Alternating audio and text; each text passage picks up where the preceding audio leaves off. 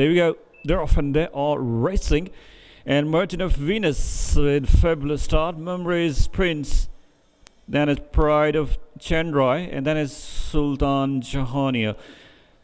So Merchant of Venus is setting the pace as they're approaching three furlong marker. Mumriaz Love, actually, not Prince. Mumriaz Love is running at the second position. Mumriaz Love, and then it's uh, Pride of Chandrai uh, there as well. Now Mumriaz Love is leading. Mumriaz Love is making a pace. It's Pride of Chandrai, the second position, has conceded a big lead.